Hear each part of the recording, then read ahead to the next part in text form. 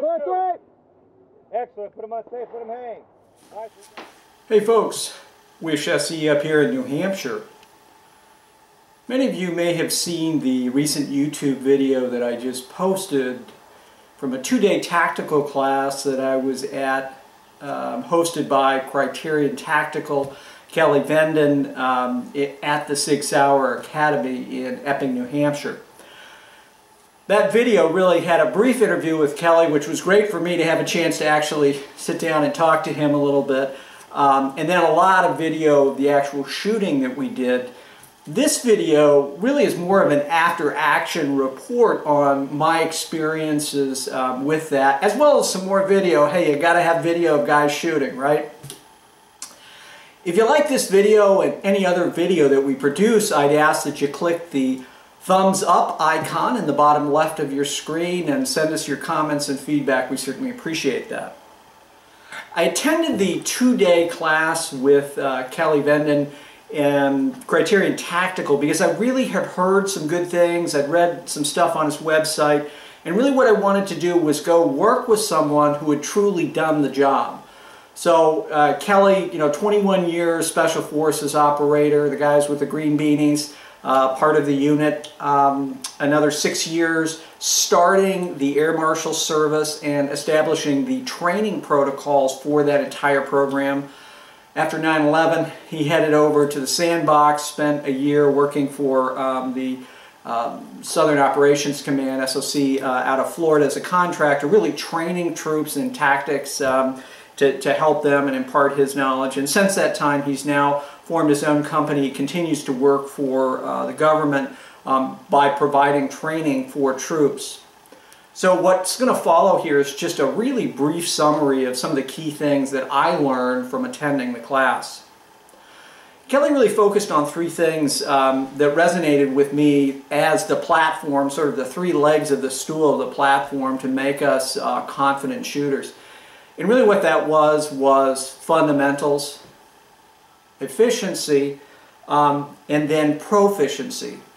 So really worked with us on our ability to do things efficiently, right? Getting the gun out quickly, getting it onto point, pressing your shot, and then the fundamentals associated with that, which is trigger press, trigger reset, and follow through.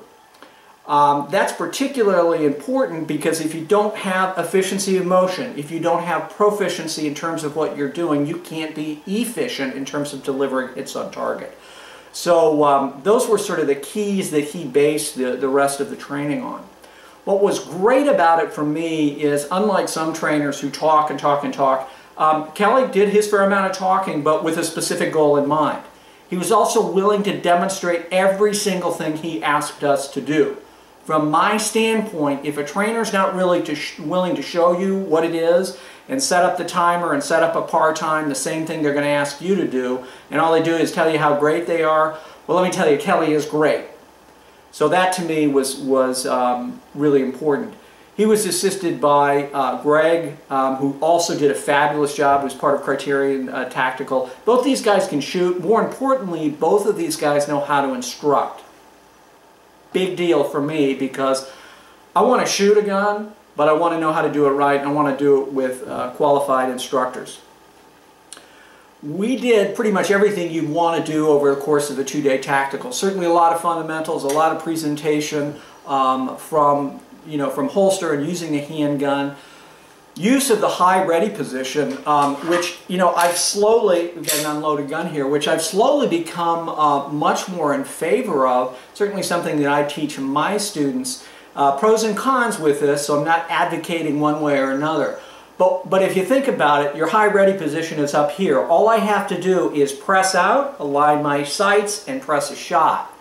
That means, unlike a low ready position, which I'm down here, I'm, I've got to bring the gun up, find the front sights, align the sights to the rear sight, and then press my shot. So, you know, that, that to me was reiterated. Now, Todd Green preaches the same thing. Again, I have great respect for Todd. So two guys that I respect and was impressed with their training really were doing uh, things very, very consistently. So obviously there's a reason for this. So that was one big aha for me. The second one is the fact that the high ready position is reinforced because If we're going to fight someone, we're going to fight from up here, right? I'm going to block punches, I'm going to deliver punches. This is where we fight from. And Kelly kept referring from that. He said, you know, this is where you're fighting from. The reality is, in a flight fear situation, when you're trying to save your life or the life of someone else around you, you're going to revert back to what millions of years of evolution uh, has drilled into your, your thing, which is get your hands up here. It's also known as a spear technique. So again, I'm not saying that other techniques aren't right, I'm just sharing you with what I've learned and seemed to really work for me. Getting that high ready position, punching the gun out, and pressing the shot as soon as your sights are aligned and you have a good sight picture um, allowed me uh, much greater efficiency and therefore proficiency. The second thing is um, that, that, you know, kind of uh, resonated or really drilled in with me was just the fact less movement is more. We all talk about smooth is fast, but presenting a gun from holster, if you're not moving a lot of other stuff, you're simply getting the gun out. After you fire, you come down, you assess. The thought is you've shot the threat to the ground, right? You're coming back in, you're reversing the motion, again, high ready position, and then to holster. Well, why would you do this? You're doing that because it's the exact opposite of the presentation. You're just burning muscle memory, right? So, very, very helpful uh, uh, to me. From a uh, um, muscle discipline standpoint, we did some stuff that most, most trainers wouldn't do because they don't know how to set up the scenarios nor do they know how to watch people did some shooting stuff early on where they clearly were vetting the students, making sure that we, we were safe, that we were getting hits on target, um, and that we weren't doing stupid or silly things.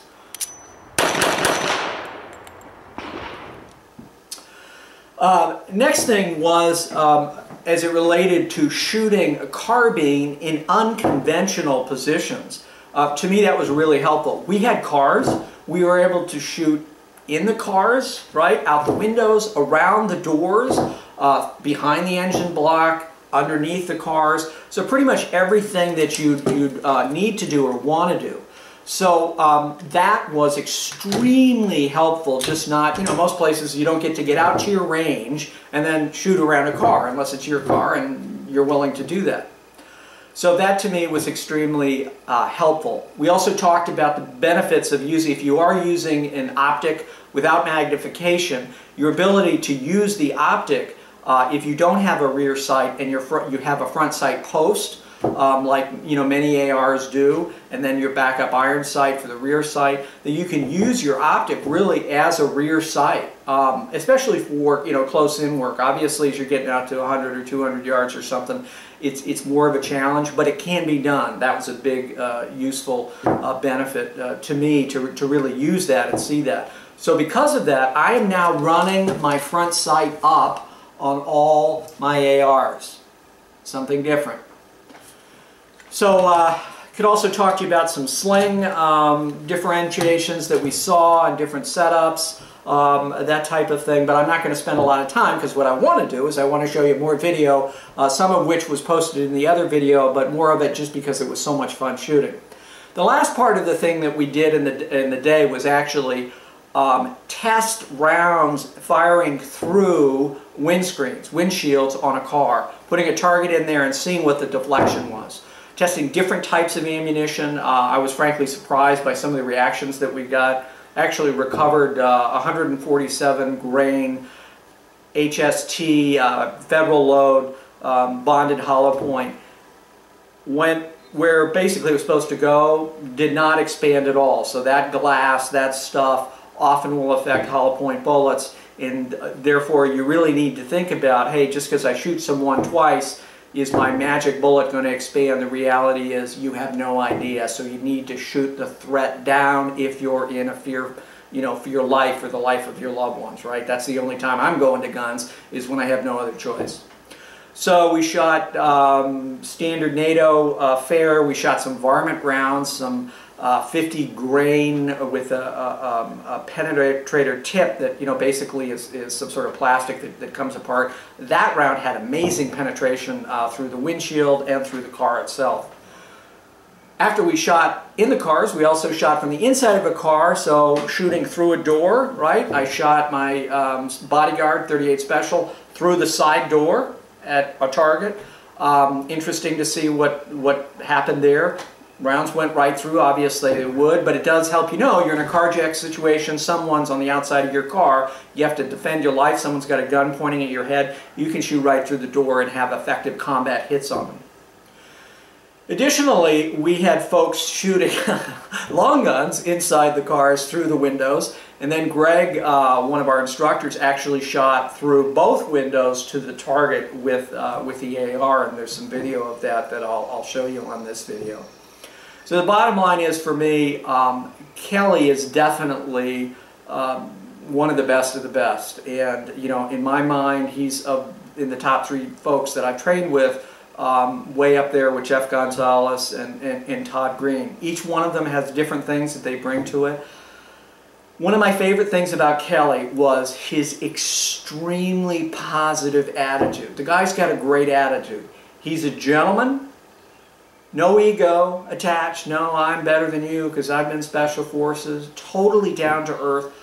Totally humble. A man of great integrity. And for me, when I go and spend several hundred dollars taking a class, I don't need attitude from the instructor who thinks he's great just because he's an instructor. And, uh, you know, Kelly was, was just the true gentleman.